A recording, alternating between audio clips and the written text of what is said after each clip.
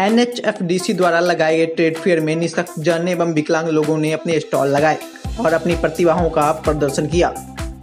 Fair में देश के कोने कोने से निशक्त जन लोगों के हित में कार्य करने वाली एनजीओ ने भी भाग लिया। इस फेयर में माँ शक्ति जैसे विकलांग लोगों के हित में कार्य करने वाले एनजीओ ने सिग्नेचर कैंपेन का शुभारंभ किया।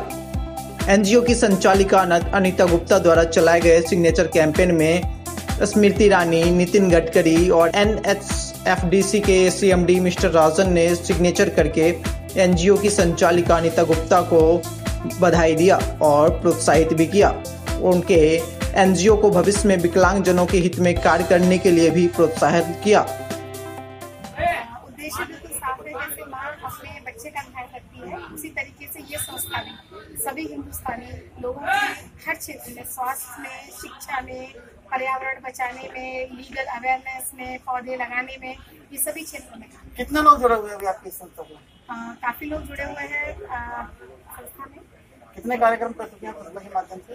संस्था के माध्यम से हर फ़ील्ड में गिनती नहीं है कितने कार्यक्रम कर चुके हैं।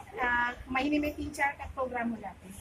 अभी मेन आपका जो उद्देश्य है, वो क्या है हाँ सबसे बड़ा उद्देश्य ये है, जैसे कि मैं खुद भी विकलांग हो गई हूँ तो सबसे बड़ा उद्देश्य ये है कि दिव्यांगों के अंदर, उनके अंदर जो हुनर है, उस हुनर को पॉलिश करके, उसको स्किल करके और उसको एक नई मंजिल तक पहुंचाना, उसको एक रोज़गार प्रदान करना, ताकि वो स्वाभिमान के साथ अपना जीवन पूरा कर सके। अनिता गुप्ता ने एनएचपीसी के सीएमडी को विकलांग जनों के लिए माँ की रसोई जैसे भविष्य में लाने वाले प्रोडक्ट के बारे में चर्चा की।